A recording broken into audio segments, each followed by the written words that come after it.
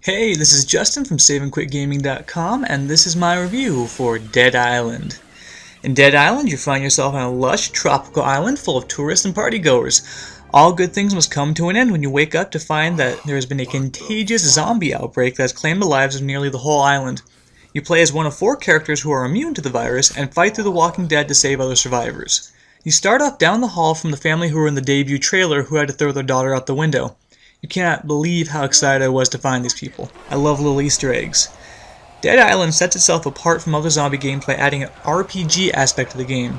Much like Borderlands, each character you choose from has their own special abilities. When you level up, you can upgrade these abilities and wield better weapons.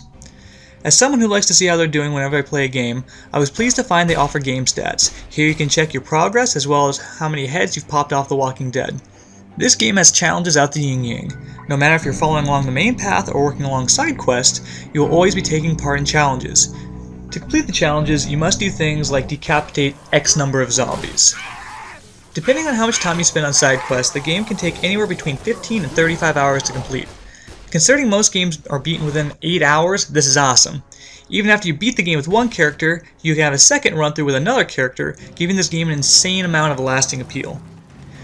While the gameplay is as addicting as heroin, the game is full of less than stellar graphics and cutscenes. Sometimes it takes a few extra seconds for the graphics to load in, and even when they do, things can look a bit dirty. Then there are little gripes about things like your feet not touching the car's pedals. Dead Island has very little punishment for dying. After you get killed, you start right up again minus a few hundred bucks. Oddly enough, even with that, your heart doesn't beat any slower as you run for your life from a horde of zombies chasing you. You'll really want to live. A fun, yet sometimes annoying addition to the game is the usage of a stamina bar. Adding this stops you from spamming attacks or sprinting for miles. All weapons degrade as you use them, sometimes quicker than I feel like an axe should degrade, but you can repair them and upgrade them by finding workbenches throughout the island. You can also make new weapons by finding mods scattered along your way. Why use a baseball bat when you use a broken broomstick that you can start on fire? Co-op works really well in this game. If you have your game set to co-op mode, another player can join you at any time, and if you're near another player, you can easily join their game. But there is a big strike towards Dead Island with the lack of local co-op. You might find when you're playing Dead Island that you'll have much more fun if you're playing with someone else than by yourself.